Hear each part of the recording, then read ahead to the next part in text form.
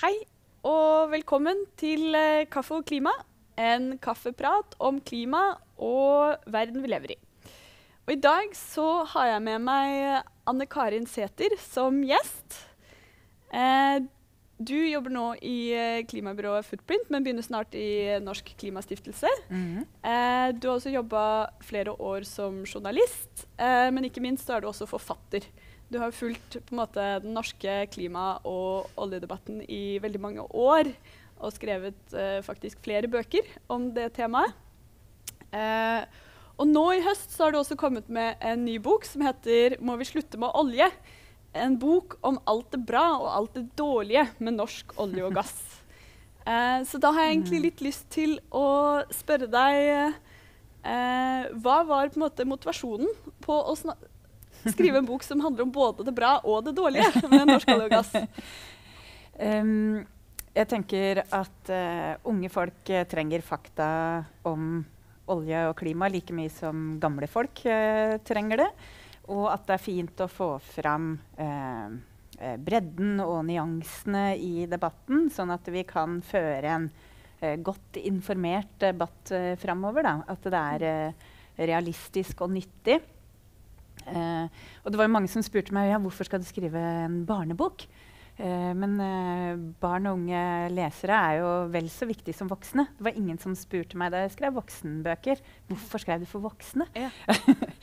men uh, jeg har jo også sett en del um, oljebøker for barn og ungdom. Og de ingen av de har tatt klimakrisa på alvor. så jeg følte at det var det et behov for. Noen som skrev om hva som ja, faktisk skjer.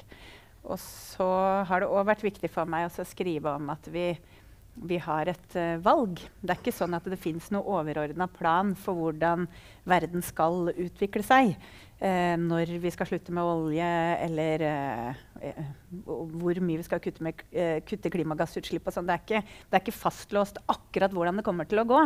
Så det skriver jeg om da, både at kun, historien vår kunne ha vært annerledes.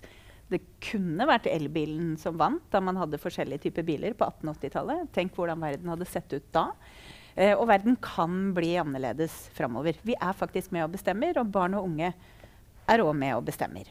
Ja, for du sier jo at uh, boka er retta mot barn. Uh, men jeg leste den selv, og jeg syns jo den var helt fantastisk. Den er både spennende, men også veldig deilig å lese en så på en måte lettlest bok da, om mm. et tema som mm. kan være ganske sånn tungt, egentlig. Ja, så bra du sier det. Eh, og så syns jeg også det er litt spennende at du For det er jo eh, i norsk olje- og gass... Eh, nei, i klima- og oljedebatten i Norge så har du jo veldig to eh, på en måte gjerne litt sånn sterke motpoler mot hverandre.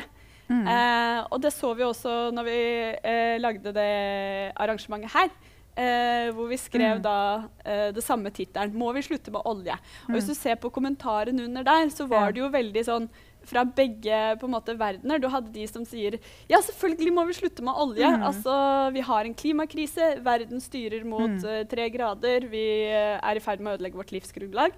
Men så hadde du mm. også de kommentarene som på en måte peker på dette med energisikkerhet. Og mm. jeg syns jeg ser alle dere bortskjemte nordmenn hvis dere ikke får den der inntekten fra oljen. Ja. Hvordan skal vi greie oss ja. da? Mm. Det er jo også og alle oljejobbene. Og, ja. ja. Mm. Er det liksom uh, Tror du det er noe håp om å bli enige her, eller er det Uh, jeg tror nok Flesteparten befinner seg jo et eller annet sted i midten. Og så hører du ikke, Det er ikke de som skriker høyest, nødvendigvis. da. Um, så um, det å få fram de nyansene tror jeg er viktig.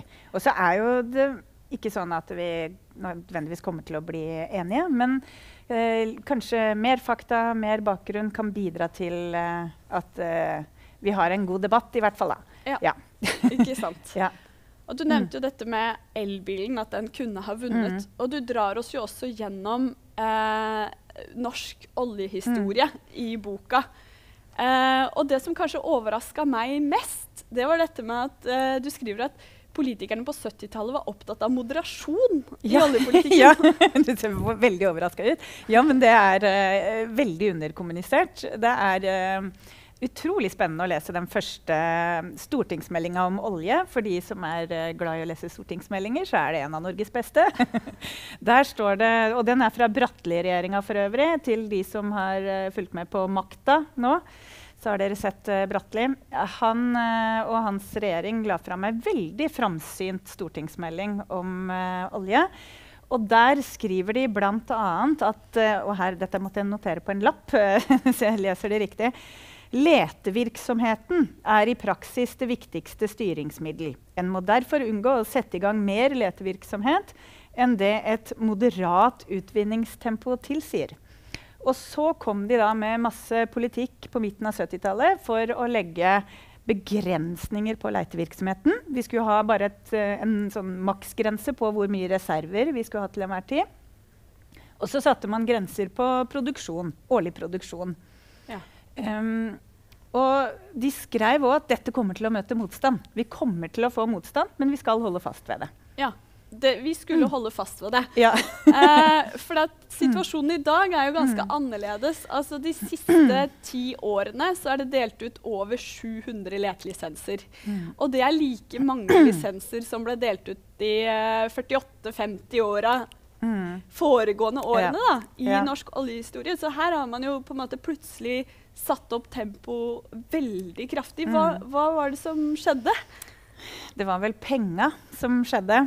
Eh, politikerne var enige om den moderate oljepolitikken på 70-tallet. Og på slutten av 80-tallet var politikerne enige om Norges første klimamål, som vi fikk i 1989.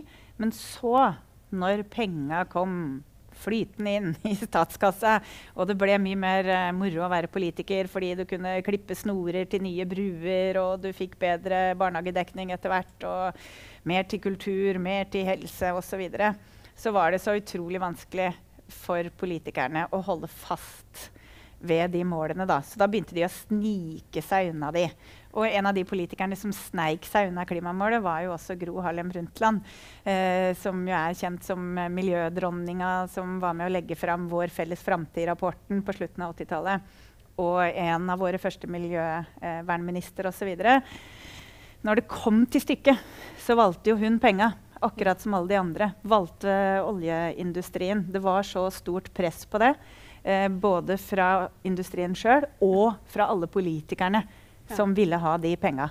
Det ble for vanskelig for de å stå imot, rett og slett. Så da var det vanskelig å ha Da, liksom, mm. da vokste oljenæringa. Ja.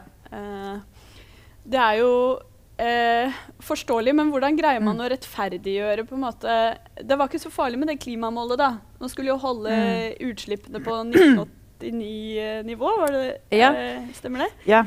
Um, det man begynte å snakke om, var jo kvotehandel. Eh, for man ville fortsatt være den der gode kraften i verden. Norge liker jo å se på seg sjøl som en slags eh, redder. Eller en ridder, kanskje til og med. um, og så begynte man å snakke om at det kanskje ikke var så lurt da, med ensidige klimamål. Man skulle fortsatt ha klimamål, og det var viktig med klima. Men Eh, det her sto Gro Harlem Brundtland og sa i Davos eh, på World Economic Forum i 1991 at det ville være mer lønnsomt eller mer effektivt eh, med eh, kvotehandel. Med mer fleksible mekanismer da, for å løse klimaproblemene. Og da, hvis du har kvotehandel, så kan du jo ta utslippene der de eh, koster minst å kutte. I Norge var det veldig dyrt å kutte klimagassutslipp, så det var liksom vondt og vanskelig for oss å gjøre det. Og vi skjønte jo at vi kunne ikke øke, øke oljeproduksjonen hvis vi skulle kutte klimagassutslippene så mye. Så da ble løsningen eh, kvotehandel. Og, i, eh, eh, men, og, dette var Norge og USA drev og lobba for det her internasjonalt da, for å få det inn i Kyoto-avtalen i 1997. Og i 1991, høsten 1991 så gikk det en faks eh, fra det er da et sånn uh, ark som man sender gjennom en maskin. I, um, fra Olje- og energidepartementet til Finansdepartementet der det sto at kvotehandel vil gjøre det mulig for Norge å øke sine utslipp i betydelig grad. Ja. Så det var en uh, villet uh, politikk uh, der man i praksis skreddersydde klimapolitikken til oljepolitikken. Ja. Og det er ikke nødvendigvis noe gærent med kvoter. Kvoter er et veldig bra virkemiddel, men mm. det passa jo tilfeldigvis veldig bra for oss. Mm. Og vi lener oss fortsatt veldig mye på det, sjøl om det bare er et tidsavgrensa eh, virkemiddel. da. Ja, for det er jo mm. litt sånn i dag også. Vi har jo mm. et klimamål hvor vi skal kutte 55% innen 2030. Men når du ser på Så vi har jo ikke kommet så veldig langt. med å kutte, Vi har vel bare kutta i underkant av 5 mm. eh, Og så har vi sju år på oss til å kutte det resten. og selv regjeringa sier jo nå at eh, ja, men det var egentlig ikke 55, det var egentlig 50% Og ikke alt trengs å tas hjemme, vi kan også gjøre noe ute. Altså, det virker som ja. det nå begynner å på en måte legge grunnen for at vi kanskje ikke eh, greier å nå det mm. klimamålet heller, da. Ja, er, Det er jo to forskjellige klimamål. Det er det som vi har rapportert inn til FN, som liksom er det formelle, ordentlige målet eh, som er mer forpliktende. Og det kan vi nok fylle opp, men at vi bruker en eller annen form for kvoter eller fleksibilitet for å nå det. Og så var det det litt mer ambisiøse målet som man tok på seg i Hurdalsplattformen i regjeringserklæringa for å tøffe seg litt, mm. og fordi alle andre rundt den gjorde det samme. Og det ligger jo litt uh, tynt an. Det første ligger for så vidt litt tynt an, det òg, men der har du større mulighet for å bruke For å kjøpe deg litt fri, da. Mm. mm. Nå har det jo kommet en del eh, rapporter som eh, viser at hvis vi skal greie å nå klimamålet eh, i verden, altså unngå mer enn 1,5 grader oppvarming, eh, så kan vi ikke fortsette å ta opp olje og gass sånn som vi gjør i dag. Altså, vi er nødt til å eh, slutte å lete etter mer olje. Eh, vi kan ikke lenger bygge ut nye olje- og gassplattformer. Det kom jo en rapport nylig eh, klimautvalget sin rapport. Kan du ikke mm. si litt om den?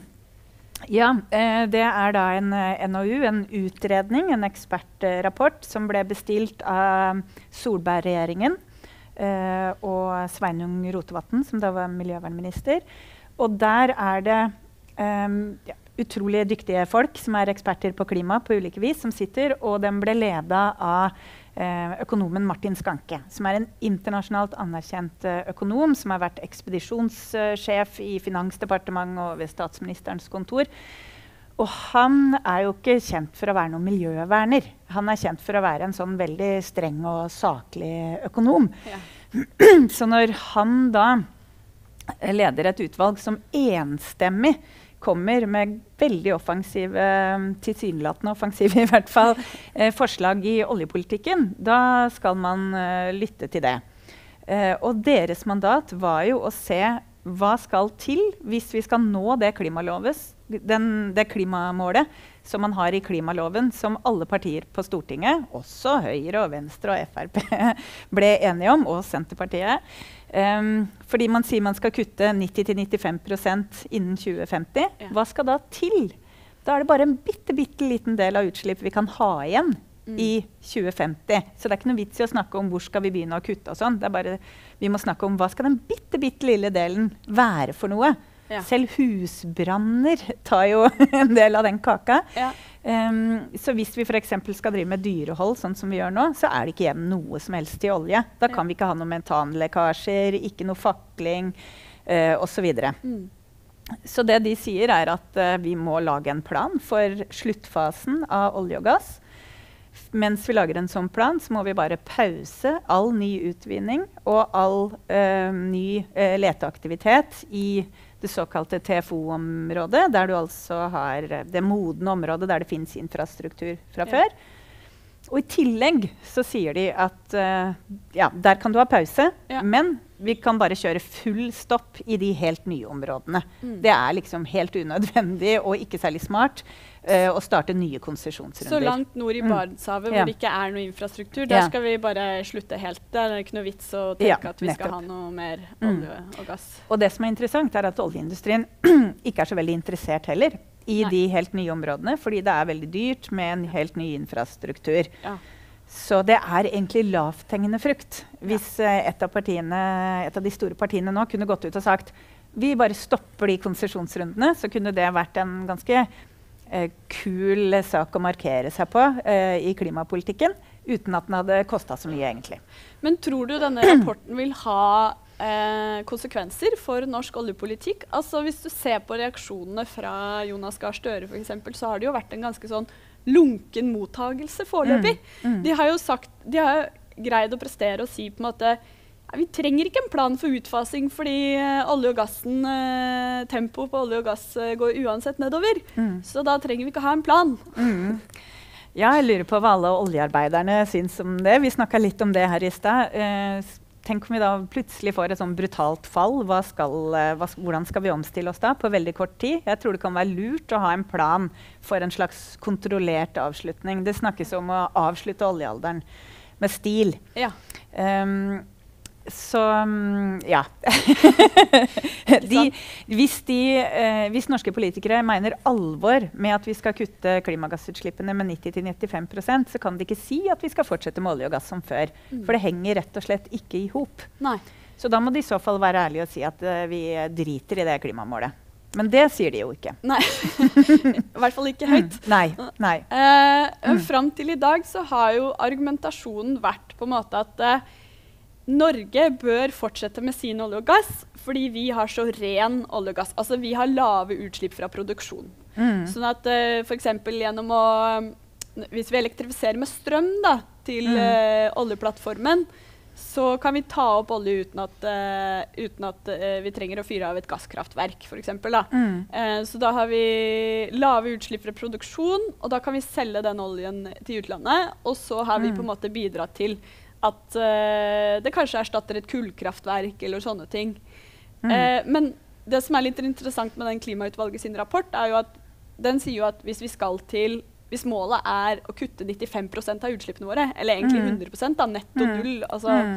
så mye som mulig, da, så nærme vi kommer null, eh, så er det jo veldig vondt Eller det er jo veldig dyrt og unødvendig å legge, lage mm. masse altså, infrastruktur for å elektrifisere disse mm. plattformene, eh, sånn at du får lave utslipp. Fordi vi kan jo heller ikke bruke den oljen som du tar mm. opp. Mm. Er det Ja, det ja, pluss at de også viser frem at vi har begrensa med strøm.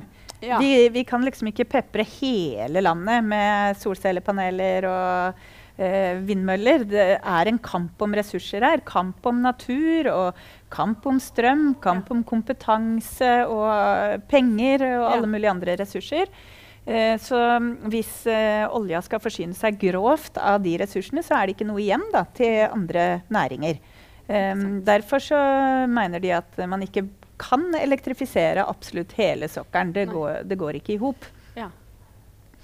Men da virker det som at måte, de argumentene for at Norge bør fortsette olje og gass, de er det noen flere igjen, eller er det noen uh... Det er jo penga som er det beste argumentet, da. Ja. det er det at vi får høye inntekter og har arbeidsplasser med god inntekt, som er det beste argumentet for å holde på med olje og gass. Og det er et fair og godt uh, argument, det. Men på et eller annet tidspunkt skal det jo ta slutt uansett. Og så er spørsmålet hvor lenge skal vi sitte og tviholde på de godene? Og særlig hvis vi da ønsker å framstå som en uh, klimaforkjemper. Uh, hvor lenge har vi mage til å gjøre det? Men det er jo noen som peker på dette med mm. energisikkerheten og sånne ting. Mm. Altså Krigen i Ukraina blir jo trukket fram hvor du så liksom at når du stoppa på en måte gasstilførselen mm. fra Russland så var det jo helt krise i Europa. Fordi det er så mange som bruker det til oppvarming, til matlaging. Mm. Altså, Hvordan skal vi greie mm. den overgangen? Mm. Nesten alt rundt oss er jo laga av olje. Ja, ja. ja, og jeg tror at de aller, aller fleste mener at selvfølgelig må vi forsyne Europa med gass i den perioden vi er i nå. Det er vanskelige tider, men vi kan ikke låse oss til det. Og gass konkurrerer jo også med fornybar energi. Mm. Og um, Europa har jo planer om å bli uh, selvforsynt med energi. De vil jo ikke havne i den situasjonen at de er avhengig av uh, fremmede makter som uh, Russland. Mm. og de har en veldig offensiv klima- og miljøpolitikk i Green Deal. Så etter hvert forsvinner jo markedet vårt. Ja. Uansett. Ja. Men du nevnte dette med at Norge på en måte var med å pushe fram et kvotesystem. Eh, og det var, kvoter kan være bra, fordi mm. det på en måte gjør at man kutter utslippene rundt omkring mm. i verden, og det blir færre og færre kvoter, mm. så da mm. må man kutte mer og mer. Ja. Eh, samtidig som det var jo veldig beleilig for Norge, da. Mm. Eh, men nå syns jeg det har kommet et nytt argument for hvorfor Norge kan fortsette med olje og gass. Og det, det er jo dette med at eh, olje og gassen i seg selv er ikke et problem, bare vi fjerner utslippene fra det. Så da kan jo vi utvikle karbonfangst og -lagring, mm. vi kan ha blått hydrogen. Eh, så trenger vi egentlig å slutte med olje og mm. gass? Kan vi ikke mm. fortsette å lete etter olje og gass? Og må vi legge en plan for utfasing? Kan vi ikke bare fjerne utslippene og lagre eh, ja, er jeg, jeg, er jo for CO2-fangst og -lagring. Og det er jo også FNs eh, klimapanel tydelig på i sine rapporter. At vi klarer ikke å komme ned i null eller netto null uten kraftig bruk av CO2-fangst og -lagring. Både innenfor olje og gass og ikke mm. minst innenfor industrien, der det store eh, behovet er. Men det man eh, kanskje bør snakke mer om i Norge, da, er forskjellen på olje og gass. Fordi eh, på gass så kan du bruke CO2-fangst og -lagring på gasskraftverk. Og du kan bruke gass til å lage hydrogen, blått hydrogen, da, som det heter, med CO2-fangst og -lagring. Ja. Men sånne løsninger har du ikke på olje. Nei. Fordi at du bruker ikke olje i oljekraftverk. Eh, det er ekstremt sjelden, i hvert fall, fordi det har blitt mye dyrere. Så vi har ingen Eh, tiltak for å utvikle olje i ja. stedet for å avvikle olje. den, den, er bare skitten uansett. Mm. Du kan selvfølgelig ha uh, tiltak for å effektivisere og elektrifisere. og sånt, så Selve utvinningen blir litt reinere, mm. men det er jo bare 3-4% av de totale utslippene. Det er pølse i slaktetida. Ja. Det er de utslippene som kommer under bruk, som er store, og de får vi ikke gjort noe med. Derfor så er det jo interessant uh, når f.eks. Høyre har og snakka om at kanskje vi skal vri leitinga bort fra olje. i hvert fall. At det kan være en måte å endre leitepolitikken på. Samtidig så er jo de fleste mm. feltene i Norge de mm. inneholder jo både ja, olje og gass. Så hvis du først finner mm. gass, så er det jo litt ja. fristende å ta opp den ja, olja også. Ja.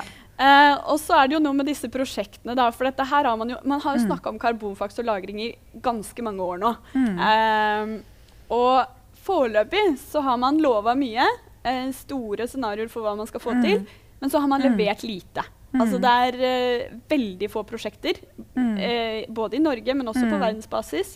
Mm. Og eh, nylig så oppdaterte jo Det internasjonale energibyrået sitt veikart for hvordan verden på en måte skal nå netto null da, innen 2050. Altså nesten kutte alle utslippene innen 2050.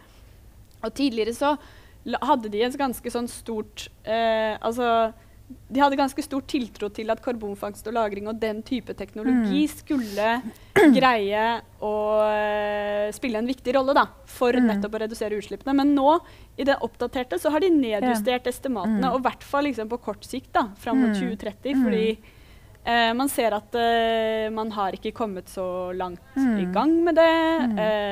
det er ikke så mange planer som det er lagt til. Veldig mange av prosjektene feiler. Ja. Så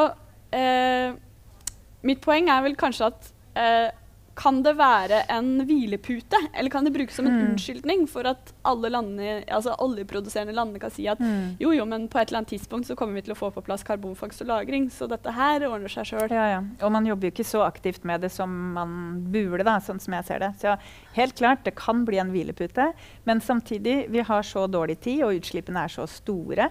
Så jeg, tør, jeg ville ikke turt å si at vi skal se helt bort fra det virkemidlet. Da. Mm. Fordi vi, vi, trenger det så sårt. Og mest sannsynlig så kommer vi til å måtte kutte utslippene så mye at vi må, vi må gå i minus i utslipp. Vi må under streken. Ja. Og, for, og, det fins ikke så veldig mange måter også fjerne eksisterende CO2 på. Eh, det er jo det du gjør hvis du skal komme i minus. Mm. Men én måte å gjøre det på er at du har eh, biokraftverk eller du har avfallsforbrenningsanlegg som Klemetsrud, der du har noe eh, biogent eh, materiale ja. som har sugd til seg CO2 mens det har eh, vokst. Ja. Og så i stedet for at det råtner og slipper ut CO2 igjen, så bruker du det i et kraftverk eller brenner det da, og fjerner CO2-utslippene. Sånn at du fjerner de gamle, eksisterende utslippene, lagrer det trygt et eller annet sted uh, under havbunnen eller under bakken. Da har du jo gått i minus. Og det har vi så sterkt behov for. Ja. Uh, um, det andre er jo denne direct air capture. Uh, metoden. Ja. Um, sånne CO2-støvsugere. Det er kjempedyrt. Det er vanskelig. men vi må kanskje eh, bruke det òg. Og så er det alger som, du, som, kan suge til seg CO2, og som du kan grave ned osv. Helst uten å grave opp masse metan. Det er, det, er, det, er, det er, vanskelig, og det er mulig det blir litt sånn science fiction, noe av det. Ja. Men uh, Ja, for det er, jo, det er jo en enorm utfordring vi står uh, foran. Altså, vi, har, vi, er så avhengig av mm. olje og gass. Samtidig så vet vi at vi er nødt til måte å uh, fase ut. Uh, og så har vi denne teknologien mm. da, som kanskje kan bidra, men som mm. også er veldig dyr, vanskelig mm. å få til og sånne ting. Samtidig så syns jeg det, de, det du nevner nå, det er jo noe du avslutter boka med, mm. er jo noen eksempler på hvordan vi liksom mm. kan uh, få til det. da, I tillegg til at man selvfølgelig er nødt til å ja, uh, fase ut mye av produksjonen ja. og sånne ting. Men det var fint å lese en bok som også uh, ga litt håp, da. Ja. uh, for det er mm. mye mm. trist lesning mm. om uh, klimatrusselen mm. og det vi står overfor. Mm. Så jeg lurer litt på For du, du, har, du, har, jo stilt spørsmålet må vi slutte med olje. Men jeg har egentlig lyst til å stille deg spørsmålet kan vi slutte med olje. Altså, Er det mulig? Tror du det vil Du sier jo litt om det. Ja. Det er jo faktisk mulig, hvis vi virkelig vil. Det fantes jo en verden før olje, og det kan finnes en verden etter olje. Men kanskje vi bruker, vil beholde noe olje og gass som vi bruker til noen typer produkter. Det er jo ikke helt krise å bruke olje og gass til Lego f.eks. Hvis den går i arv og ikke havner i sjøen, så er det kanskje en grei måte å bruke olje og gass på. Jeg tror sønnen min blir veldig letta ja. for det. ja. Mens uh, selv asfalt kan jo lages av biogent materiale. Men så må du ikke, du kan ikke bruke opp all verdens skog til å erstatte drivstoffet fra fossile kilder heller. Så, men mye kan gjøres. Vi kan fjerne store store mengder av det fossile drivstoffet, og vi er nødt til å gjøre det. Uh, og en av tingene vi kan gjøre veldig mye mer av, er jo å tenke sirkulært. Og det skriver jeg også litt om, hvordan vi kan bruke, gjenbruke og ta vare på i stedet for å drive med bruk og kast sånn som i dag. Da skaper vi jo både mindre avfall og vi trenger mindre naturressurser og bruker mindre på transport. Ja. Så det er masse vi kan gjøre eh, framover for å minske behovet. Ja. Det er godt å høre. Mm.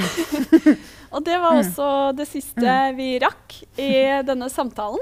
Eh, så tusen takk til deg, Anne Karin Sæther, for at du ble med på denne sofasamtalen.